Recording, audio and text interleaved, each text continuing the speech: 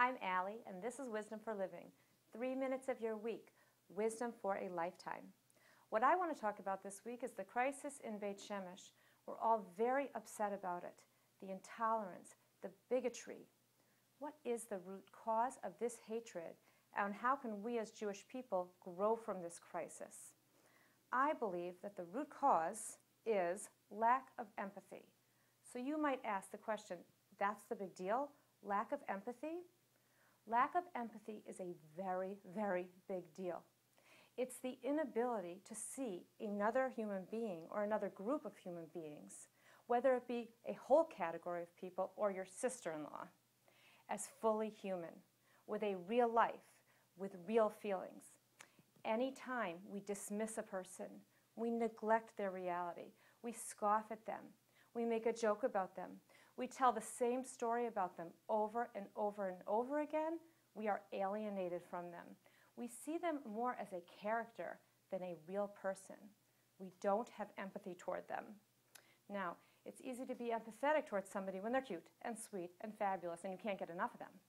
It's hard to be empathetic when someone annoys you, when someone's hurt you in some way, or when you strongly disagree with somebody.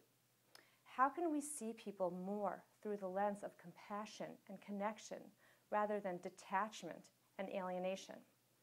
Our sages in the Torah point to an incredible tool that I still use today and I want to tell you about in terms of developing and fostering a sense of empathy toward other people. They tell us that the heart follows the eyes. If you want to become a more empathetic person, visualize in detail the life of another person. Imagine what their life is lo looks like. Put yourself in their shoes.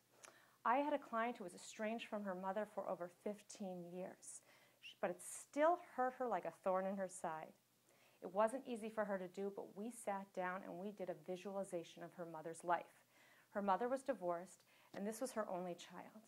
And we imagined waking up in the morning with nobody next to you, going to sleep at night with no one next to you, dealing with your doctor and all the insurance claims alone, feeling afraid.